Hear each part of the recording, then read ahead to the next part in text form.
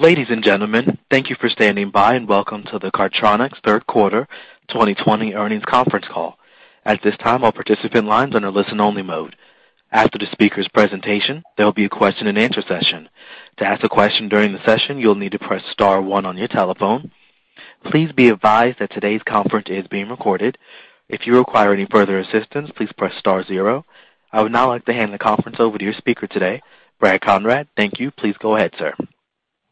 Thank you. Good afternoon, and welcome to Cardtronics' third quarter 2020 conference call. On the call today, we have Ed West, Chief Executive Officer, and Gary Ferrera, Chief Financial Officer. We will start with prepared remarks and then take questions. Before we begin, a cautionary statement regarding forward-looking information. During the course of this call, we will make certain forward-looking statements regarding future events, results, or performance. Any forward-looking statements made on this call are subject to risks and uncertainties, including, but not limited to, events, market conditions, and other risks and uncertainties that could cause actual results to differ materially. Please refer to our earnings release and our reports filed with the SEC, including our Form 10-K for the year ended December 31st, 2019, as updated by our Form 10-Qs this year, which describe forward-looking statements and risk factors and other events that could impact future results and other factors that could impact our business. The statements on this call are made as of the date of this call and are based on current information and may be outdated at the time of any replay of this call. We assume no obligation to update any forward-looking statements made today to reflect events that occur or circumstances that exist after the date on which they are made. In addition, during the course of this call, we will reference certain non-GAAP financial performance measures. Our opinion regarding the usefulness of such measures, together with a reconciliation of such measures to the nearest GAAP measure, is included in the earnings release issued this afternoon and available on our website. We've also posted supplemental investor materials regarding the quarterly results, along with additional information on the investor relations page of our website at cardtronics.com. We will make reference to some of the pages in this earnings supplement during the course of today's call. With that, I will turn the call over to Ed. Great. Thank you, Brad. Uh, it's great to be with you today, and I look forward to sharing some recent developments that are transforming several key aspects of our business. The key messages I would like to convey today are as follows. First, the business continues to recover from the impacts from the pandemic, and we are executing on our growth strategy. As evidenced by today's announcements, FIs and fintechs of all sizes are partnering with Cardtronics to deliver both an efficient cash solution and a physical brand presence by leveraging our unparalleled network and platform. We believe we are well-positioned to benefit from the secular trend for FIs and fintechs to leverage common infrastructure to serve their customers' cash needs. Second, our investments in technology are paying dividends by opening new business opportunities and driving down costs. We have taken control over our future product flexibility by controlling and integrating the hardware, software, and processing capabilities. We believe this will result in accelerated product development, margin expansion, capital efficiency, and greater free cash flow conversion going forward. Third, speaking of cash flow, the free cash flow generated by this business is strong, and we expect this to grow over time as we continue to evolve Cardtronics. Our recent investments have fundamentally changed the capital profile of the business, and consequently, the free cash flow conversion has improved significantly. Now let me start with a brief recap of the results for the quarter. Revenues for the quarter were 279 million, and adjusted EBITDA was 72 million. While our third quarter results were down versus prior year due to the continued impacts from the pandemic, the results were up significantly on a sequential basis from the second quarter as we saw continuing recovery across our markets. Our U.S. business recovered to nearly flat year-over-year on ATM operating revenues. As you can see on page five of the supplement, we saw continued recovery of our same-store transactions, which were actually up 1% for the quarter in the U.S. We also deployed nearly 700 new ATMs at Casey's stores during the quarter and experienced continued sequential revenue growth in our managed services and surcharge-free categories. Outside the U.S., our businesses continue to be more impacted by various local restrictions that have been implemented as a result of the pandemic. As a reminder, we also have more exposure to travel, tourism, and leisure in the markets outside of the U.S. People, though, will eventually travel again, and we will lead to upside opportunity for us. The third quarter results allowed us to generate strong adjusted free cash flow for the quarter of $56 million, which was up from 48 million in the prior year. Free cash flow has been a consistent focus for us as we prudently deploy capital. It's fairly remarkable that on a current valuation basis, our free cash flow yield is over 18%.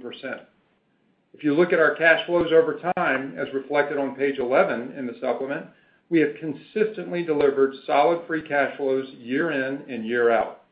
That has continued this year in spite of the impact of the pandemic. I'll come back to this in a few minutes, but we are optimistic that we can continue to grow our free cash flows through growth and lower capital intensity as we gain market share and leverage our recent transformative investments. I've talked extensively about the dynamics in consumer banking over the past several quarters, and we continue to see signs of accelerating digital transformation. Within the past few weeks, several large banks announced plans to significantly reduce their branch footprints, some of them by as much as 20%. As banks continue to pull back on their physical infrastructure, many of them are leveraging our network and platform to continue to provide convenient and cost-effective cash services to their customers. Our solutions and capabilities are valuable to not only small community banks and fintech startups, but also the largest banks in the country. During the quarter, we continued our growth with fintech partners. We recently established a relationship with Chime, a leading fintech built on protecting its members and helping them get ahead. We're pleased that Chime has chosen to join our Allpoint network at ATMs at select U.S. retailers to broaden the scope of convenient and surcharge-free cash access that will be available to its members in the coming year. We also established a relationship with Credit Karma, the consumer technology platform with more than 100 million members in the U.S., Canada, and the U.K. We are pleased that Credit Karma has also chosen to join our Allpoint network to broaden the scope of convenient and surcharge-free cash access available to its members. Additionally, we established relationships with MoCaFi and Central Payments, who have also both joined Allpoint to broaden their services for their customers. The team has done a terrific job of building on our recent successes of expanding with fintechs, which will likely drive future transaction growth with these digital partners. Allpoint has definitely become the partner of choice with the digital operators and builds on our strong reputation among our growing base of 1,200 issuers driving Allpoint. These relationships continue to serve as strong proof points that our convenient, on-demand network and nationwide footprint provide the surcharge-free solution that fintechs and FIs need and consumers want. We continue to see strong growth in transaction volume from our fintech partners, as reflected on page nine of the earnings supplement. Q3 transactions involving these partners are up over 200% since the beginning of the year. Fintechs now recognize that convenient, secure, and surcharge-free access to cash remains very important to their customers and critical to their customer engagement and growth plans. Increasingly, we are seeing a trend from larger banks to leverage our platform and look for ways to reduce costs or grow more cost-effectively. Our managed service solution for operating ATMs continues to gain market traction, and now increasingly with larger financial institutions. Last year, we initiated a relationship with U.S. Bank to brand approximately 80 ATMs in Charlotte, and we're thrilled to report that we are now expanding this partnership with our first managed services agreement with U.S. Bank. We'll own and operate about 70 off-branch ATMs. We're excited about our growing partnership with U.S. Bank as we continue to earn their trust to further build and expand on this relationship. Additionally, building on our partnership in Canada, we have significantly expanded our relationship with Scotiabank in Mexico, where we are adding an additional 200 ATMs that we will manage for them. These deployments are in process now and are expected to be completed by the end of the year. We have also agreed to operate an additional 200 ATMs for Scotia in 2021. This is helping drive their branch transformation strategy as they look to optimize their footprint and deliver superior service for their customers. Beyond these relationships, we also entered into numerous other branding, Allpoint, and maintenance services arrangements this past quarter with both new and existing partners. Our value proposition continues to resonate with a wide variety of FIs, including national, regional, and community issuers. FIs are looking to grow strategically, but also optimize their costs and customer offerings.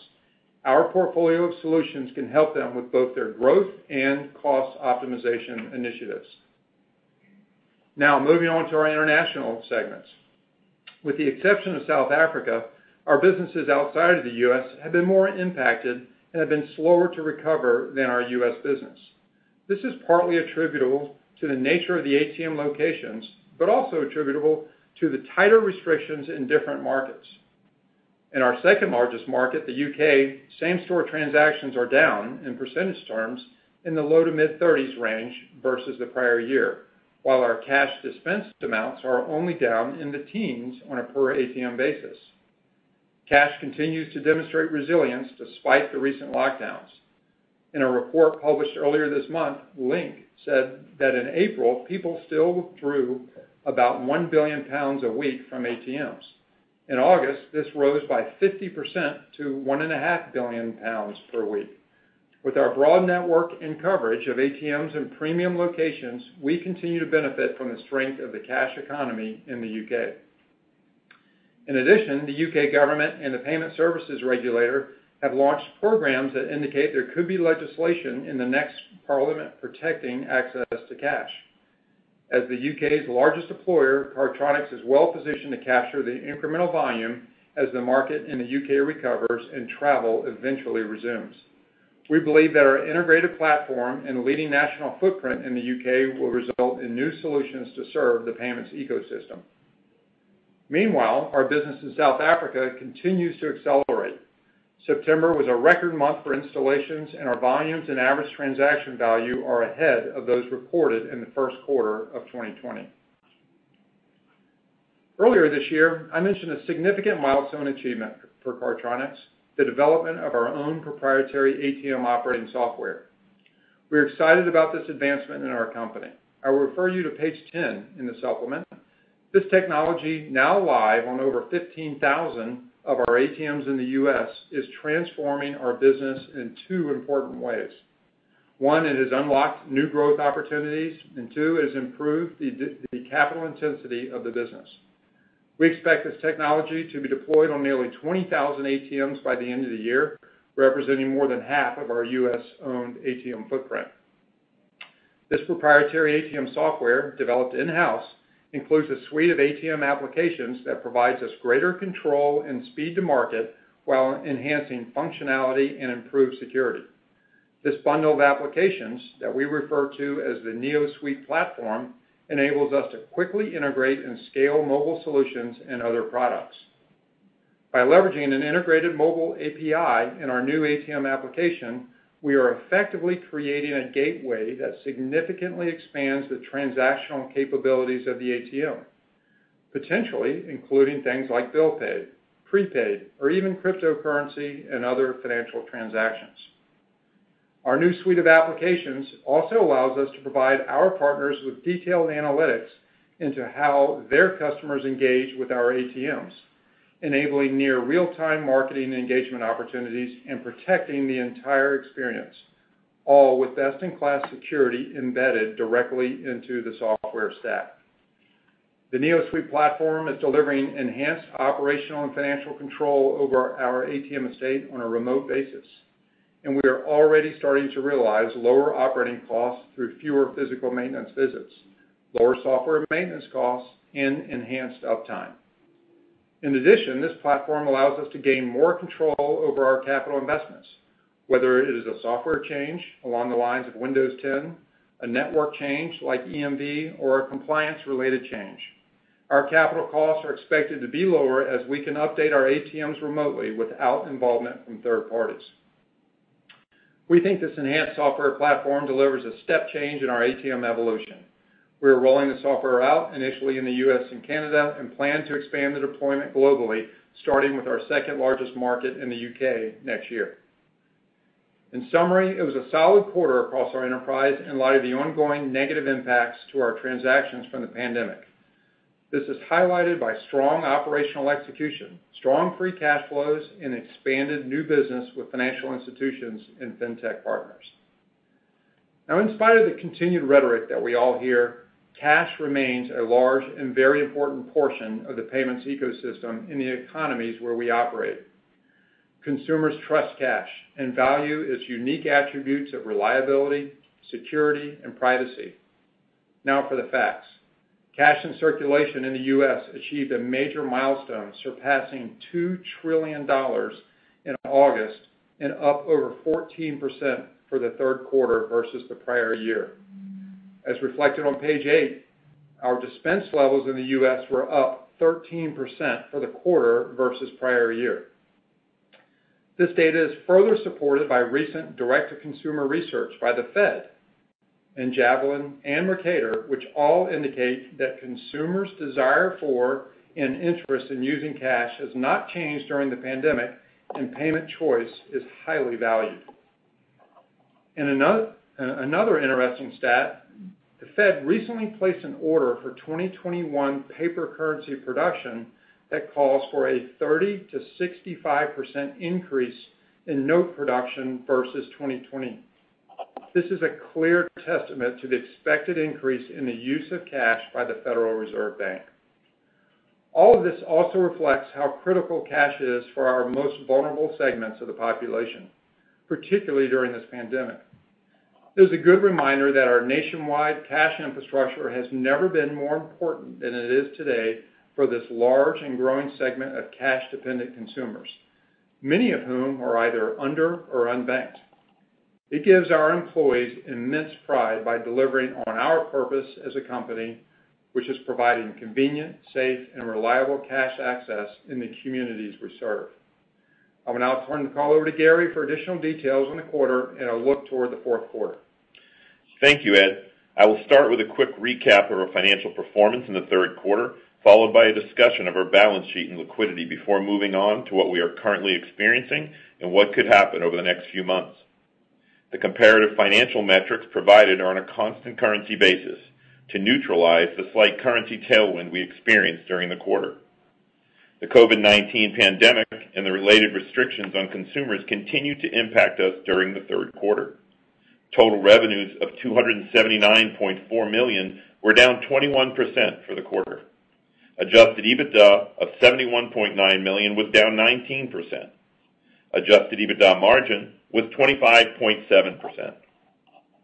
I'd like to highlight that during the quarter, we recognized 11.8 million of net U.K. business rate recoveries. You might remember that on our last earnings call, I mentioned the recent legal decision by the Supreme Court in the United Kingdom, removing business rates in England and Wales, effectively a form of property tax for certain ATMs. We have been pleased with the speed at which we've been recovering amounts owed to us and anticipate recovering a slightly higher amount in Q4.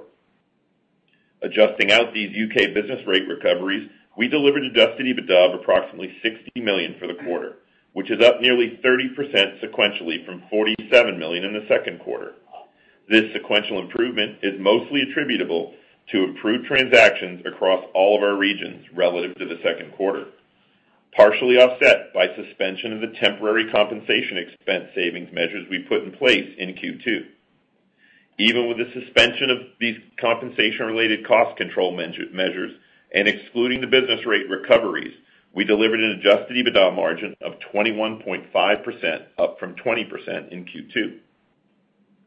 These strong margins in the underlying business, along with the U.K. business rate recoveries and a net working capital benefit driven in part by an $8 million income tax refund we received during the quarter, drove adjusted free cash flow to 56 million, allowing us to reduce net debt by 53 million compared to the end of June. To round out our key consolidated performance metrics, adjusted EPS was $0.49 for the quarter, up sequentially from $0.13 in Q2, but down compared to $0.79 in Q3 last year. The decline in adjusted EPS compared to Q3 last year was driven by the decline in EBITDA and higher interest expense. Looking at our financial results by segment, North America remains the most resilient. as revenue and adjusted EBITDA were both down 15% year-over-year. During the quarter, with continued strength in our bank branding and surcharge-free offerings, plus new ATM deployments, we almost returned to flat on the top line for the quarter in our core U.S. ATM operating business. While our smaller businesses in Canada and Mexico and our merchant processing businesses continue to recover more slowly and were each down over 30% for the quarter. Canada and Mexico both have a much higher percentage of casino and leisure-oriented ATMs compared to the U.S., and many of these ATMs remain non-operating or are operating on a very limited basis. For the third quarter, U.S. same-store withdrawal transactions increased 1%. As shown in the earnings supplement on page five, this measure of same-store transactions is more aligned with the metric that we reported prior to the pandemic and illustrates the trend at our transacting company-owned ATMs.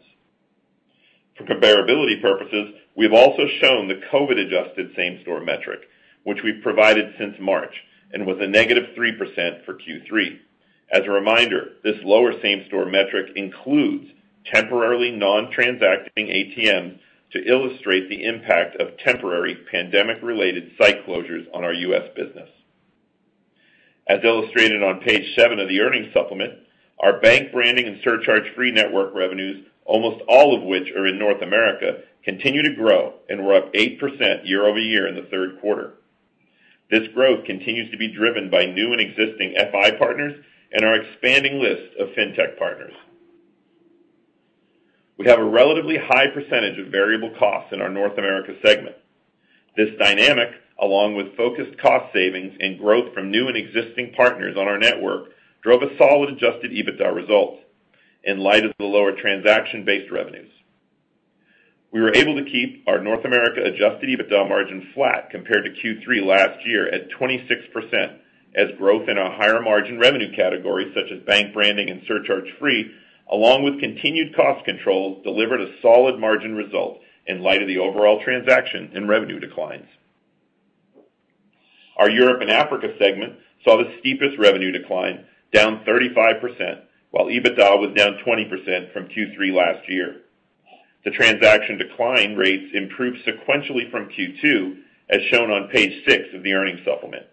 The largest component of this segment is our U.K. business, which was down about 33% on same-store transaction volume, which was a solid improvement from the 50% decline in Q2. However, as we've seen across many geographies, the U.K. has recently implemented more restrictions and new guidance on social gatherings, and we've recently seen the transaction decline rate flatten out in the low to mid 30% range. We continue to see a significant decline in our cross-border revenues in this segment, as travel and tourism remains very limited. Our high-margin cross-border revenues were down 11 million in this segment compared to the prior year. Q3 adjusted EBITDA in our Europe and Africa segment was positively impacted by the previously mentioned U.K. business rate recoveries of 11.8 million. In our smallest segment, at approximately 7% of revenues, Australia New Zealand revenue declined 25% from Q3 2019, while EBITDA declined 37%. The travel, tourism, and leisure sectors were hit particularly hard in this segment throughout Q3. However, transactions across location types steadily improved during the quarter. Moving to liquidity in the balance sheet on page 12 of the earnings supplement. At the end of the third quarter, we had total gross debt outstanding of 914 million and had unrestricted cash of 263 million, resulting in net debt of approximately 651 million. As a reminder, we have $116 million principal amount outstanding on our remaining convertible notes, which mature on December 1st. We plan to settle the remaining notes with cash on hand. With over 250 million of unrestricted cash and zero outstanding on our $600 million revolving credit facility, we have substantial liquidity, and we also expect to continue to generate strong cash flows in the foreseeable future. Net debt outstanding of 651 million at the end of Q3 was down 53 million sequentially from the end of Q2. Our net leverage ratio, as defined in the revolving credit facility, was 2.6x at the end of Q3, improved from 2.7x at the end of Q2. We continue to have significant headroom under our revolver covenants. Moving on to capital expenditures. Year to date, our capital expenditures were 61 million, down 32% from 90 million during the first nine months of 2019. We believe that the recent trends in capital expenditures reflect a material decrease in the capital intensity of the business. These improvements are driven by technology enhancements, such as our NeoSuite platform and operational improvements that we implemented prior to and during the pandemic. To be clear, we are not compromising growth through this rebaselining of capital requirements. To highlight this point further, we expect to purchase 3,000 more ATMs than in 2019, despite spending significantly less in CapEx this year. As Ed previously mentioned, across the company, we have prioritized delivering strong free cash flow. Looking at page 11 of the supplement, you can clearly see that in the results these last few years. And With our improvements in technology and a focus on enhancing our operational and strategic outsourcing or strategic sourcing efforts, we have driven down the capital intensity of the business. For many years, CapEx was 10%-12% of revenues. In 2019, CapEx was 9% of revenues, while CapEx has been 8% of revenues over the last 12 months, even with revenues being impacted by the pandemic. At our Investor Day back in March 2019, in our medium-term outlook, we estimated annual CapEx to approximate 8%-10% of revenues. Due to the previously mentioned technology improvements in enhanced strategic sourcing, we now expect annual CapEx to approximate 7% of revenues over the medium term. As we navigate through this pandemic, we have not provided formal guidance. However, we feel it is important to be as transparent as possible as to what we are currently experiencing and our expectations for the remainder of the year. Based on recent transaction trends in commercial wins and execution, our current estimate for our fourth quarter is an adjusted EBITDA amount excluding U.K. business rate recoveries, similar to the 60 million we experienced in the third quarter. Ordinarily, Q4 is seasonally weaker than Q3, and while we have seen some recent new unit and branding growth, some of this growth may be offset by seasonal factors, and in some cases, retightening of social restrictions. This estimate does not assume any further significant lockdowns beyond what we have recently seen. And on the other hand, we are not assuming any significant loosening of social restrictions across our geographies. Based on the additional business rates that we have already received in October, along with reasonable assumptions of continued recoveries, we could see business rate recoveries in Q4 in the $15 million-$20 million range, which would put us at a total adjusted EBITDA number of about $75 million-$80 million for the fourth quarter. As I mentioned earlier in the year, we renegotiated and extended several contracts in North America on slightly different terms, which caused a portion of the revenues related to these contracts to convert from a gross revenue recognition basis to a net basis. This change is expected to cause a $6 million revenue reduction in Q4, but no reduction to EBITDA. This change could cause up to $20 million revenue impact in 2021, and again, no impact to EBITDA. At about $75 million-$80 million in Q4 adjusted EBITDA, and taking into consideration the change in revenue recognition that I just mentioned, we'd expect an adjusted EBITDA margin approaching 30%. Turning to CapEx. We now expect to spend approximately $90 million in capital expenditures for the full year 2020. This would approximate 8% of revenues and would be weighted about equally between growth CapEx and maintenance and infrastructure CapEx. We expect to see continued solid free cash flow in Q4 and could end the year with net debt of approximately 620 million, which would bring us back down towards the upper end of our previously stated target leverage range of 2x-2.5x. I'd like to take a moment to highlight our strong free cash flow generation. Even during the worst of the pandemic, we managed to continue to generate free cash flow and pay down debt. Highlighted on page 12 of the supplement, since the beginning of 2018, we've generated 678 million in adjusted net cash provided by operating activities. we have invested 293 million of this amount back into the business. The remaining balance of 385 million in adjusted free cash flow has allowed us to decrease net debt by 258 million, repurchase $67 million worth of shares, and complete small acquisitions or other financing activities. Our strong cash generation provides a lot of flexibility going forward. And between already contracted new business and our growing business opportunities, we are positioning ourselves for growth in 2021 and beyond. Let me conclude by saying that the company is well-positioned, both financially and strategically, to not only weather this pandemic, but to emerge even stronger. We are encouraged by our new business wins, favorable market dynamics, and our recent investments in technology that are helping create new growth levers and lower capital and operating costs. The business has proven to be resilient, and we are excited about the opportunities ahead. Now let me turn it back to Ed for some final thoughts. Thank you, Gary. Let me summarize today by emphasizing our conviction in this business and our plans for growth. First, the business continues to recover from the pandemic, and we continue to execute on new business. We find ourselves at a rare tipping point where pundits question the long-term prospects for cash.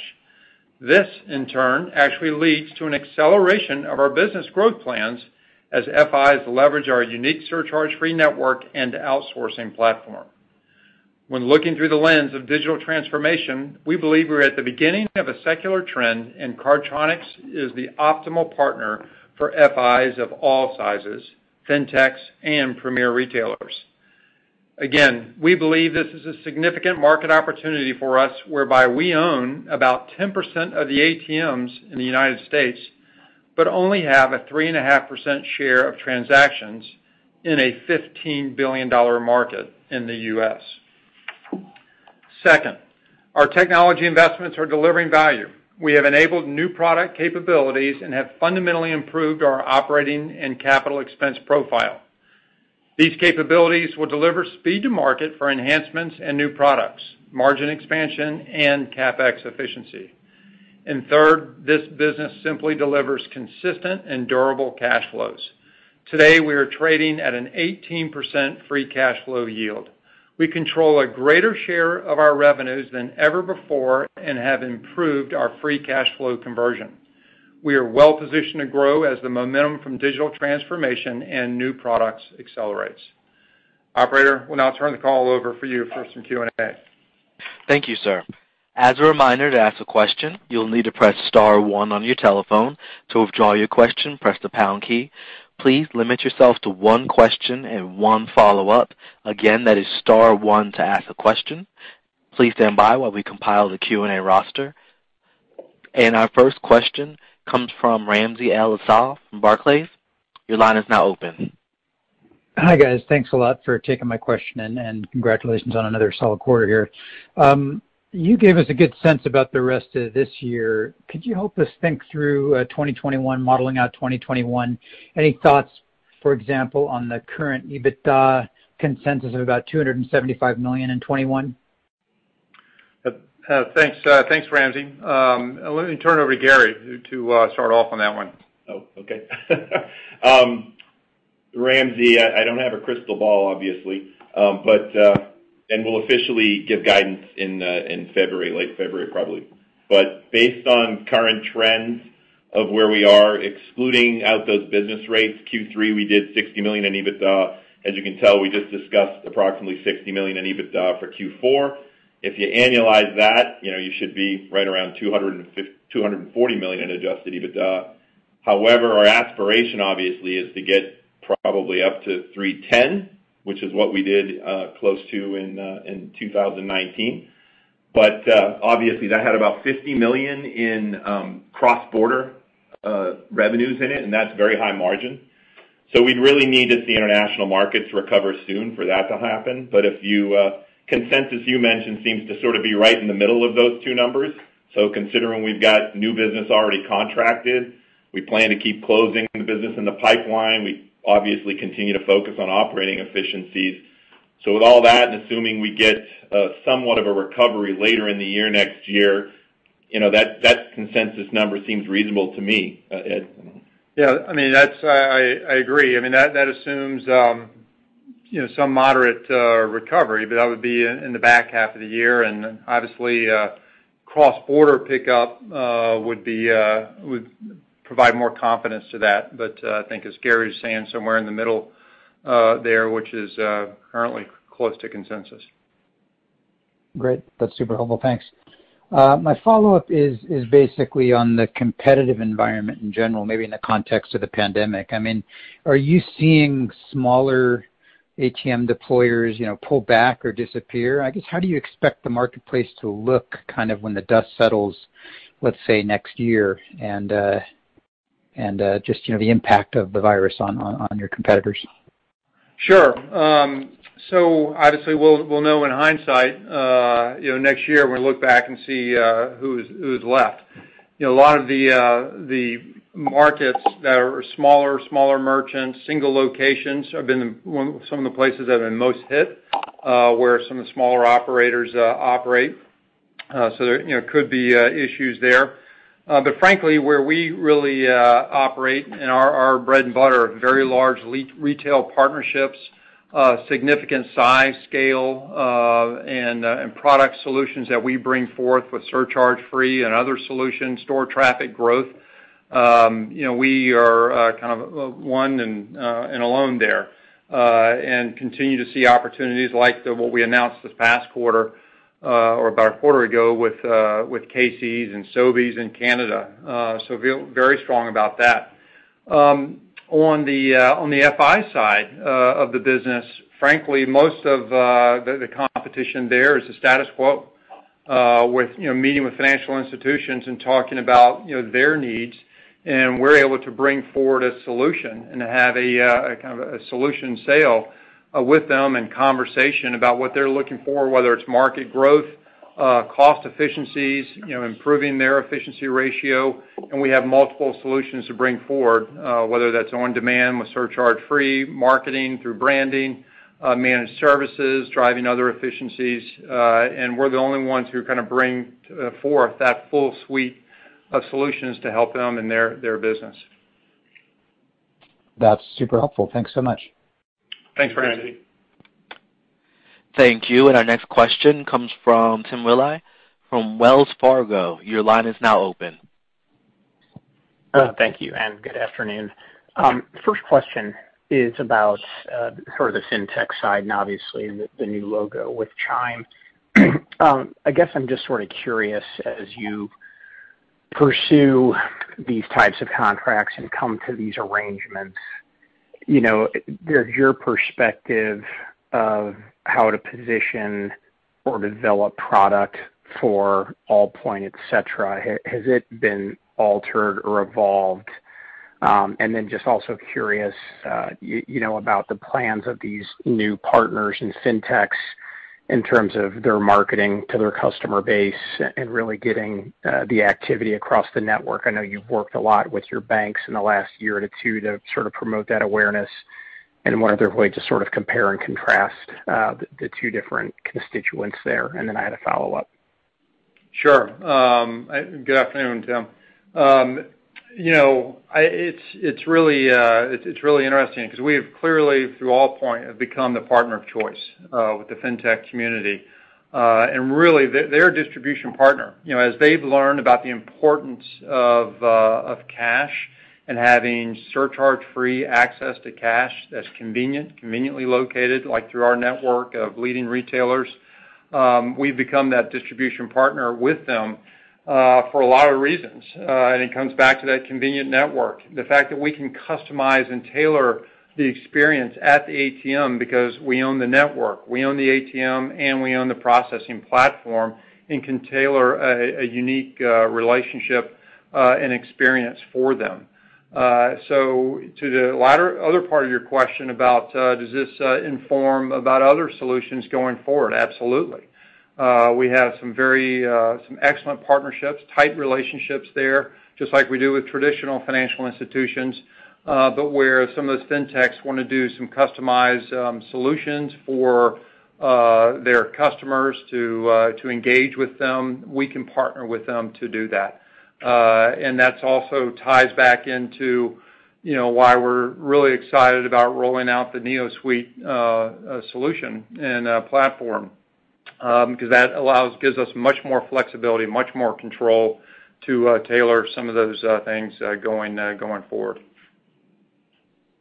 Great. And then my follow-up was about the bank side, where obviously some nice activity there. And as you pointed out, banks are, I think, more focused on changing the physical footprint they have.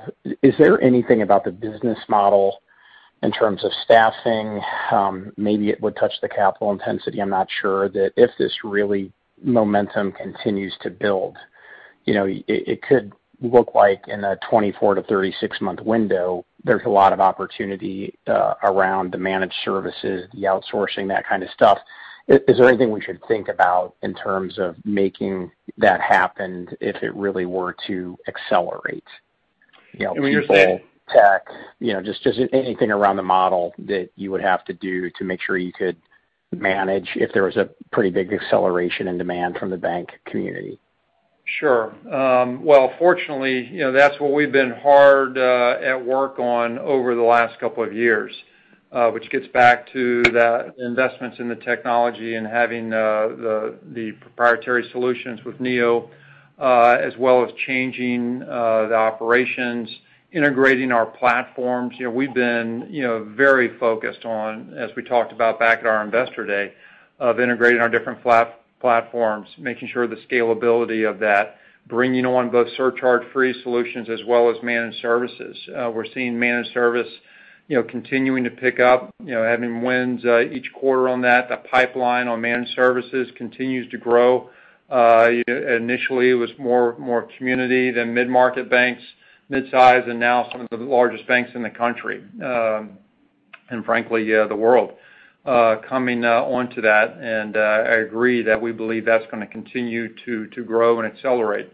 Uh I think the other real differentiator there for us is the security, uh where we've invested heavily in both technology and InfoSec, and we have a terrific InfoSec team on having the security uh embedded into uh our platform.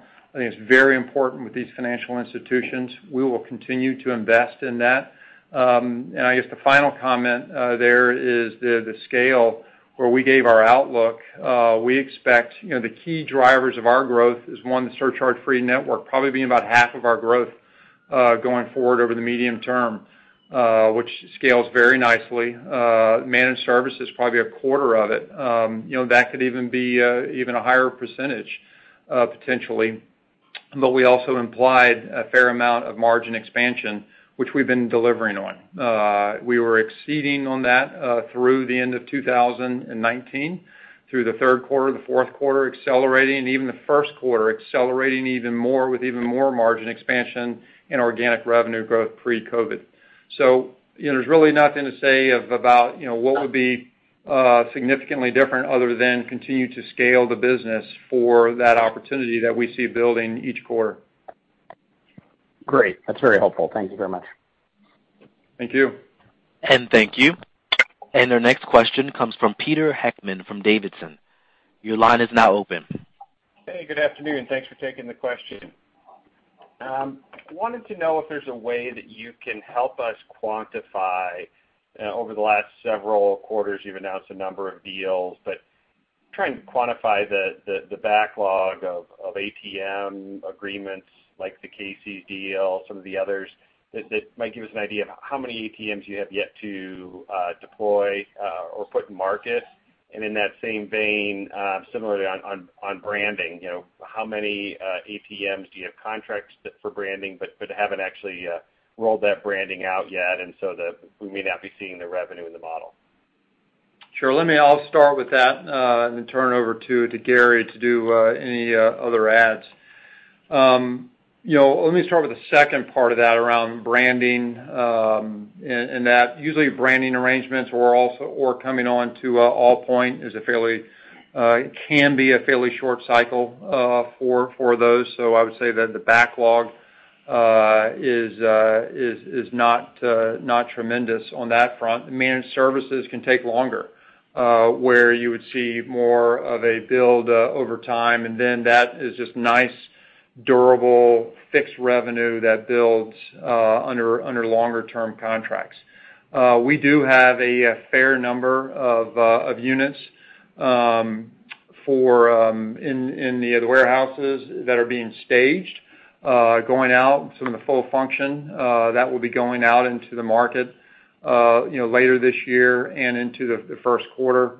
Uh and clearly, as I mentioned earlier, both Casey's and Sobeys, those rolling out uh in the U.S., uh as well as continuing to roll out more in uh in South Africa. I think the last point is, right now, Pete, things are so murky uh, from the market because of the pandemic, where you still have capacity that's uh, mothballed, hibernated, lack of traffic, lack of consumers moving around. Uh, we have ATMs that are just sitting there. Some of them we've just de-cashed. They're in hibernation. They'll come back on as travel comes back up. So it's kind of hard to say, "Hey, here's something you should just count on as you think about over the next few quarters," until we get to more normalcy. Eventually, this will pass, we'll get back to where people are getting back out and uh and and getting back out in communities and feeling safer. In that time, I think we'd probably give you more of a future pipeline. Yeah. And obviously, we're we're also taking ATMs down, so on a net basis, because you know we're trying to optimize the network in the U.K. and in other regions.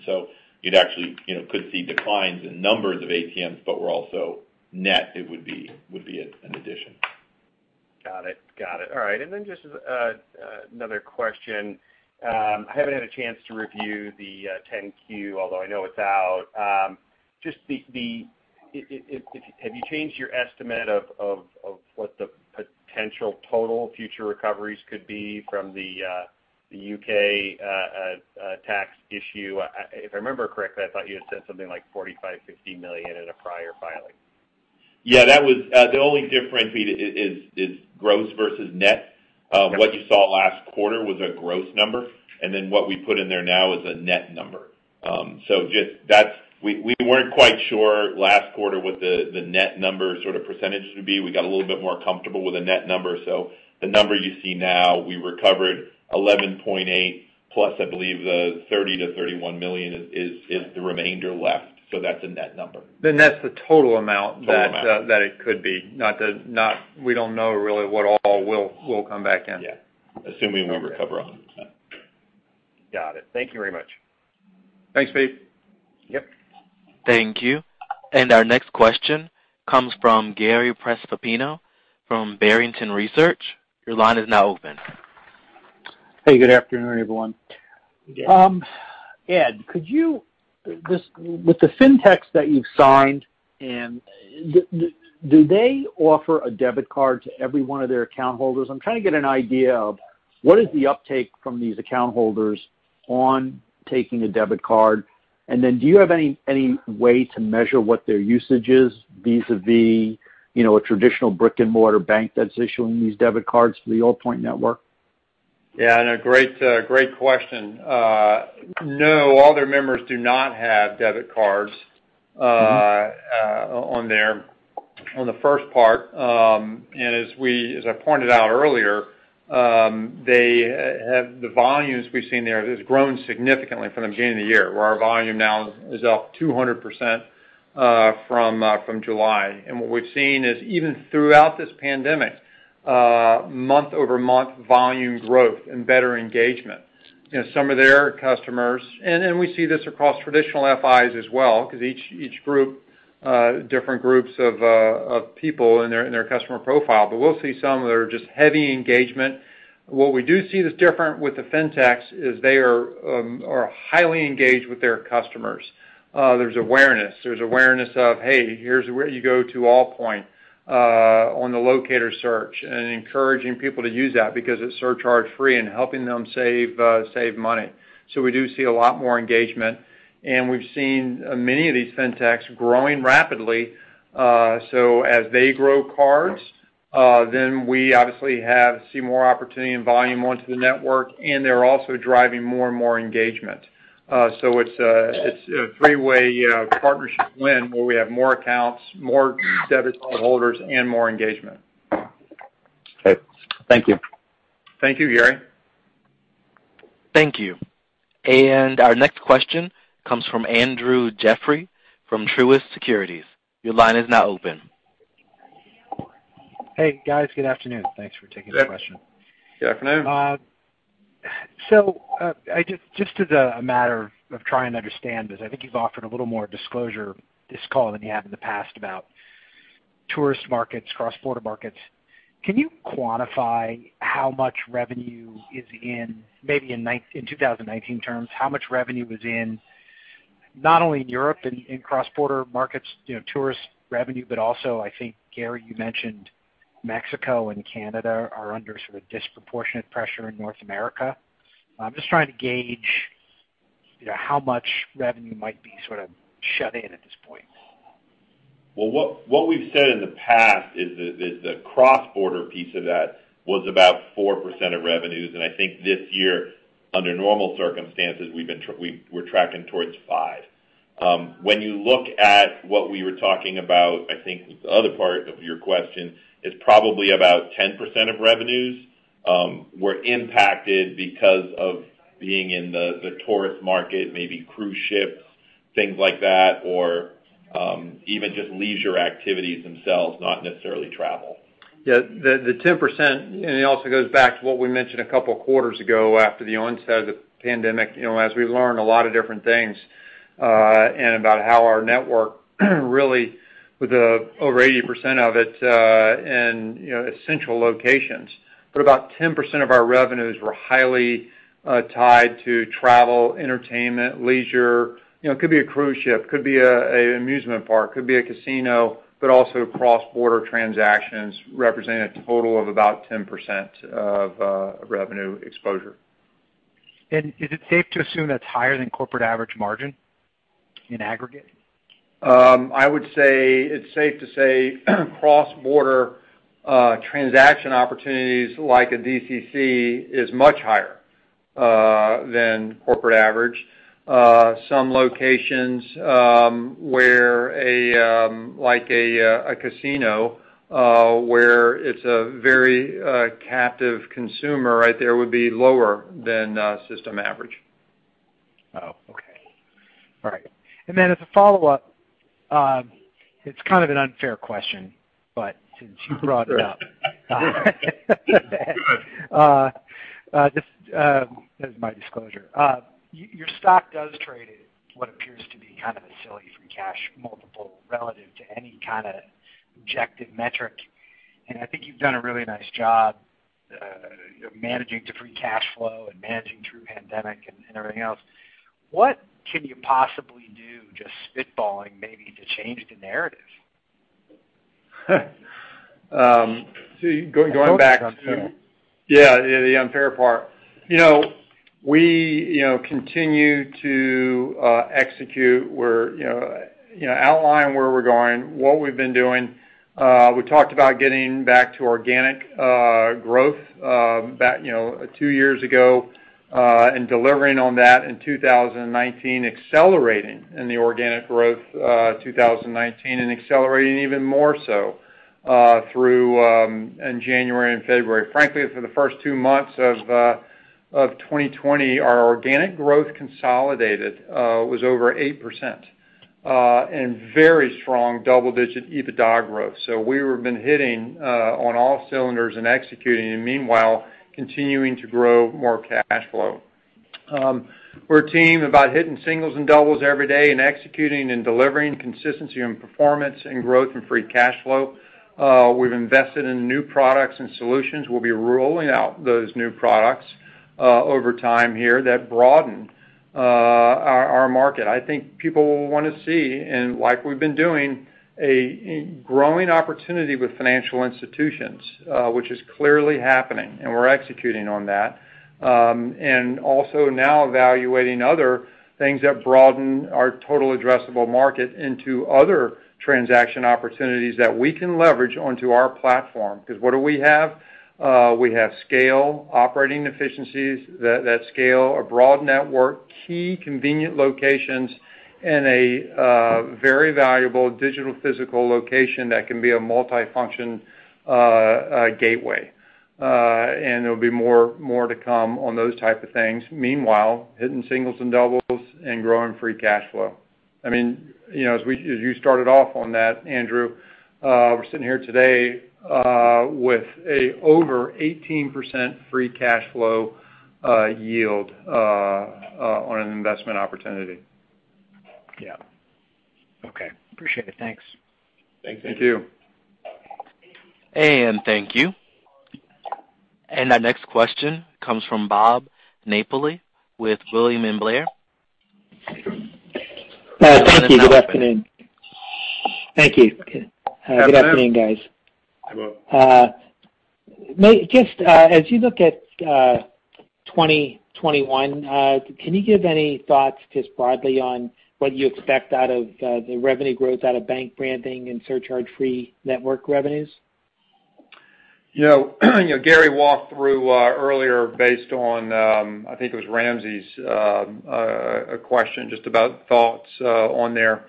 You know, I guess, Bob, I'd go back to the Investor Day, um, where we looked at the growth of the company going forward uh over that medium-term outlook. Um and we sit here today actually more confident about that than we were a year and a half ago uh because of what we've experienced and what we've learned. Uh and that growth in the surcharge-free solutions being Allpoint and branding, and that being about half of the growth, uh and and seeing the uh the organic growth there in addition to the managed services.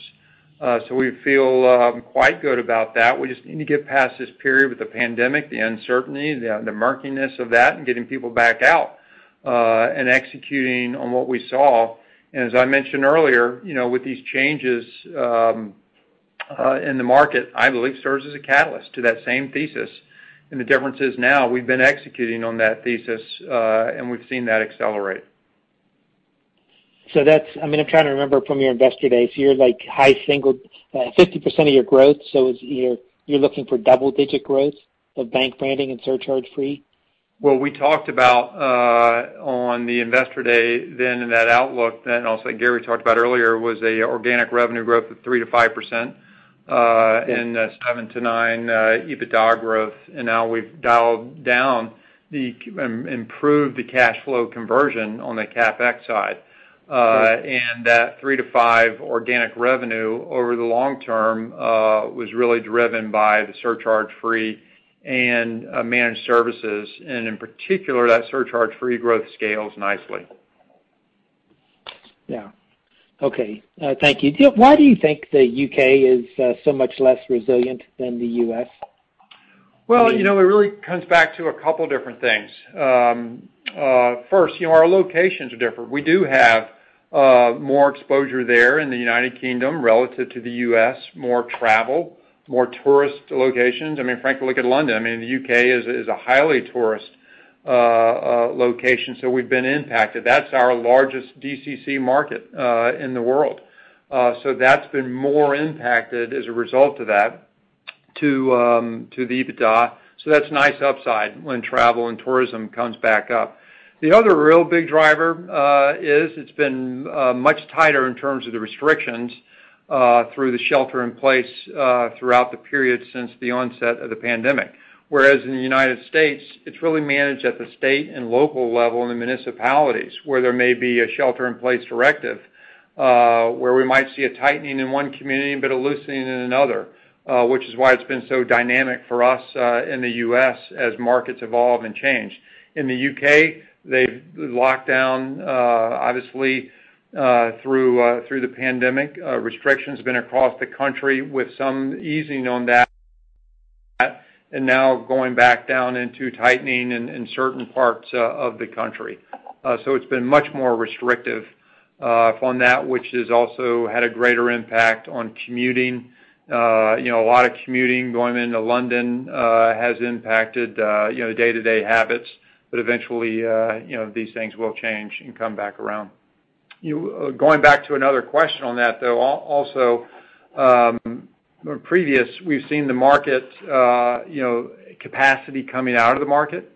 Uh so as things come back around, we believe we're well-positioned as activity picks back up because there's less ATM capacity in the marketplace.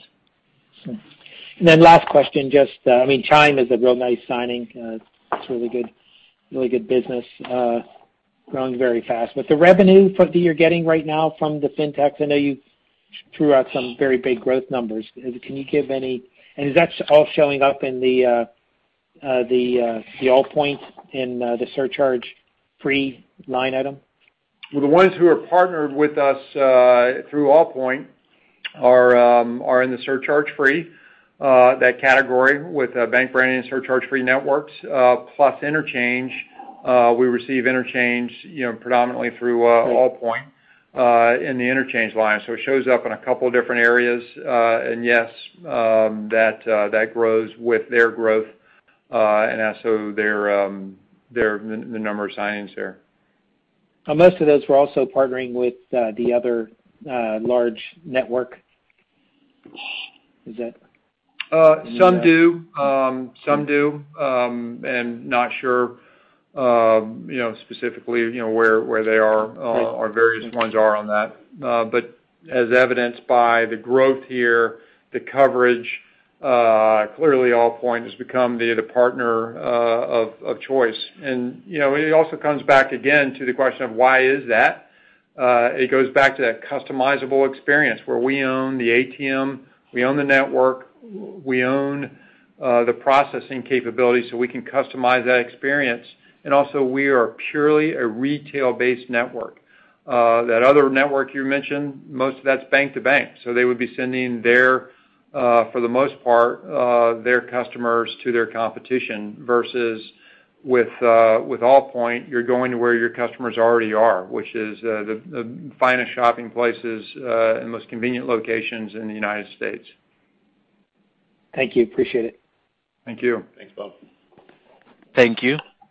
And our next question comes from Kartik Mehta from Northcoast Research. Your line is now open. Hi, gentlemen. Um, Gary, I was wondering, in the past, you've been uh, kind enough to kind of give uh, the trends for a month just to get an idea of what's happening. You know, when you gave the September 17th date, uh, an up-to-business update, you gave kind of Uh, uh, an update there as what was happening in September. I'm wondering if you could provide kind of what you're seeing in terms of October. You're saying on the same-store trends? Yeah, just in transactions or just uh, just yeah, same-store trends or transaction trends, just kind of what you're seeing in October versus what you saw in September. If it's the same, accelerating, decelerating, you know, whatever the case may be. Yeah. So as I mentioned um, in my script, that in the U.K., for example, we're sort of leveling out in the down 30, you know, low to mid-30s. Um, in in the in the U.S., it's it's similar to what we discussed uh, on the call for the quarter, you know, sort of flattening out there. I wouldn't say it's accelerating right now, but but flattening out right now. That's why when we um, were given the Q4 estimates, we said, you know, assuming current trends, et cetera, no major release in population movement and no major lockdowns. Uh, just kind of where things are now. Yeah. It looks like where, as Gary said, where we exited and the U.S. being you know, roughly flat on a year-over-year uh, basis. And we have periods, it's dynamic. It goes up, it goes down um, on a week-to-week basis. And then just one last question. Ed, you kind of alluded to this um, in the previous answer. I'm wondering, uh, are the U.K. Uh, lockdowns, I know they've started kind of new lockdowns, I don't know how extensive they are. Is that are you seeing any impact yet on the business, or is it just too early to see anything? You know, I think Gary just said you know, what we know right now. Uh, with what we've seen is it's kind of staying in that um you know low to mid-30s on a year-over-year basis at that level, and it's been at that way for a little while. Yeah. Kartik, that's literally up till yesterday. Oh, okay. Low to mid-30%. Perfect. Well, I appreciate it. Thank you very much. All right. Thanks, Kartik. Yeah. Thank you. And our next question comes from Steve Comery from G.research. Your line is now open.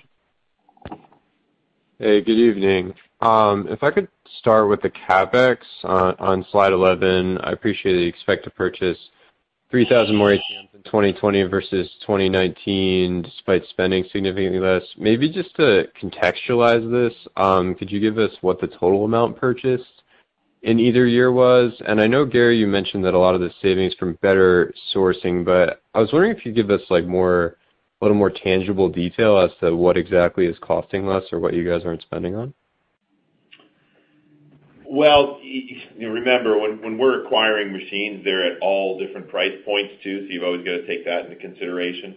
Um, uh, and in prior years, we had other things going on. You know, so I mentioned that you know when we look at CapEx going forward, it's kind of you 50/50 between growth and maintenance and infrastructure. In prior years, we had ERP systems going in, et cetera, so that that would've increased the maintenance and infrastructure portion. So that that's that's one of the reasons why. Obviously, you know, we've we've done a lot of work and sort of taken advantage of our global network. That's something that hadn't been done previous years, and we've just started working into it recently. So across the board, when we're purchasing, I mean, we're doing it on a global basis now. Ed already mentioned the Neo Suite and all the technology that's assisting. So it's not one thing, it's multiple things all together that are that are helping to drive that. Okay. Appreciate that. And then um on the on the debt, talked about settling the convert with cash in the fourth quarter. Once you get kind of past the fourth quarter, get past the convert, um, would you expect to continue to pay down debt? And how do you think about other other cash use priorities in the pecking order? Um, yeah. I'll start, and I'll pass it over to Ed. Obviously, that's a board decision versus mine. But um, you know, I would think in the near term, our focus is is to get into that range, that 2x-2.5x that we mentioned. Um, I think you know, it it'll be close on the edge by the end of the year. I'm hoping we're inside of it, if things keep continuing to progress. Uh and then at that point, I think we'll have to start you know, thinking about things once we get into the range. Um but we still have a little ways to go there. It's a board discussion, and uh we'll be discussing uh that uh with uh with the board, you know upcoming uh uh meetings in the future. Um the important part is the business is generating a lot of free cash flow. Uh it's very durable, and even through a pandemic, demonstrated very strong, consistent free cash flow generation, which just gives a lot of confidence, and the confidence that we have in the outlook in the business. And uh we're on the doorstep of being back into that range and gives us a lot of option, and we'll be back more to talk about that. Okay. Thank you very much. Thank you. Thank you. And our next question comes from Reggie Smith from JPMorgan. Your line is now open.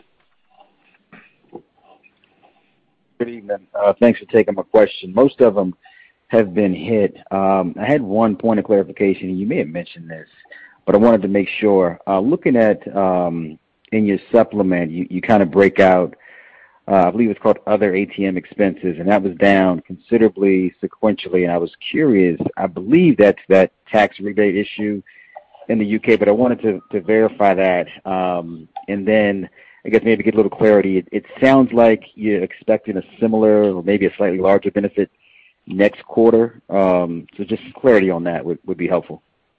So just to be clear, you're talking about the other expenses in the ATM operating expenses line going from 18 to three?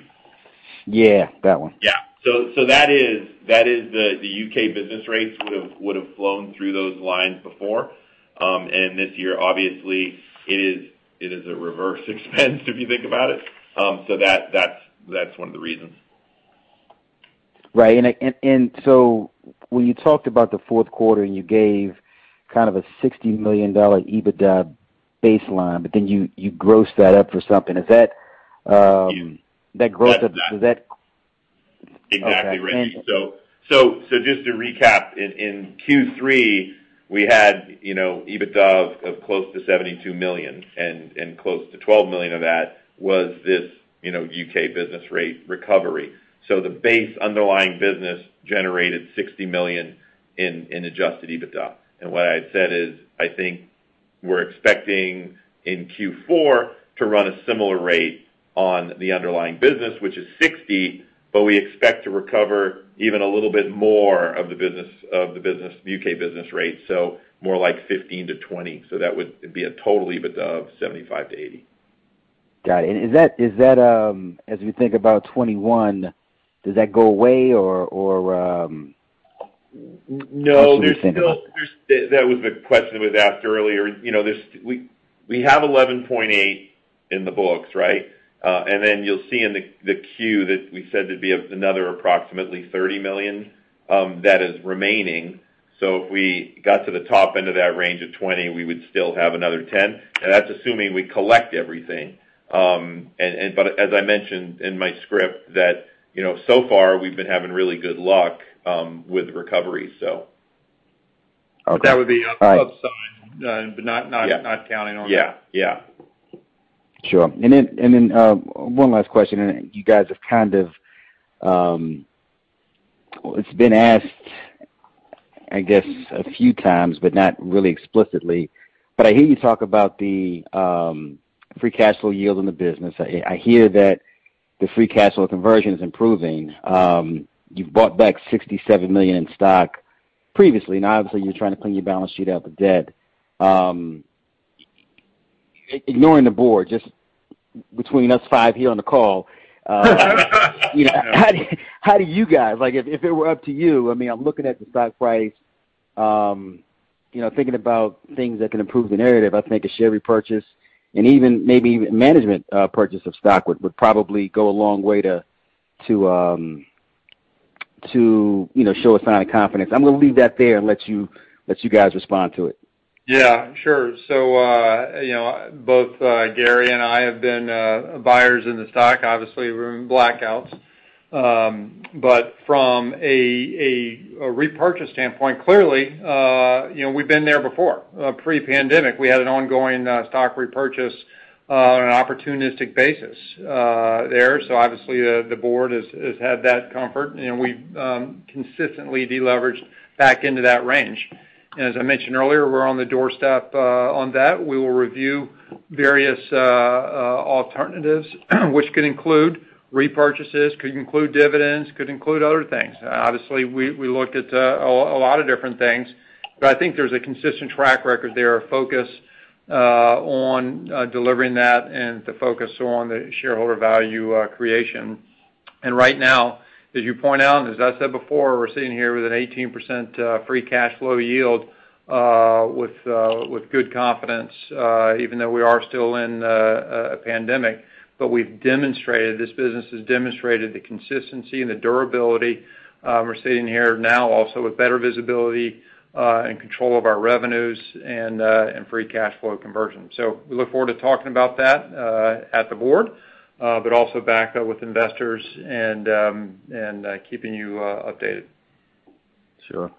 Perfect. If I could sneak one last question. Bob had asked earlier about the U.K., and I was just curious. Um, so it sounds like there's definitely a little more tourism there, and that's something that can kind of snap back. But if we were to compare that to New York, would you say the trends in the U.K. are similar to what you see in New York City? Um, or would there even be differences there between the two? Because I would imagine um, New York probably looks and feels a lot like the U.K., but I wasn't sure. Uh, New York, um, earlier in the pandemic, um, it's interesting you raised New York. So like New York, if I go back to pre-pandemic uh, period in the first quarter, uh, and the the end of last year and going into the first quarter, Uh, contrary to what some alleged uh, in the market, you know, concern with you know, uh, TAP rolling out at the subway and concerns around what that could mean, that was one of our strongest markets in the country. I mean, literally one of the strongest markets with the growth we've seen. And why is that? Because partnering with the core financial institutions, partnering with them, branding locations, joining Allpoint, and serving those customers' needs and the growth, we saw that at our key retail partnerships in New York as one of our strongest ones. Then obviously with the pandemic, uh it went to one of the worst ones uh, in the shelter in place. That's come back around, uh and see, uh it can be we have weeks where it's very very uh attractive. So that's that's come back uh quite considerably. Uh the U.K. has been a different you know, different market, obviously with the with the commuting issues there and also the tighter restrictions, Uh, it has uh it has been uh, more more impacted there uh, than also with the travel coming into what was anticipated historically there into London from a tourism standpoint. Um but we would expect that to come back around as well. New York has been very dynamic. It's you know periods recovered, some periods down. It's just been dynamic. Got it. Okay. Thank you. Thanks, Reggie. And thank you. I would now like to turn the call back over to Ed West, Chief Executive Officer, for closing remarks. All right. Well, we just thank you very much. Thank you for your interest uh, in the company, and we look forward to keeping you posted and uh, updated, uh, and speaking to you next quarter. Have a great day. Thank you. Thank you. Ladies and gentlemen, this concludes today's conference call. Thank you for participating. You may now disconnect.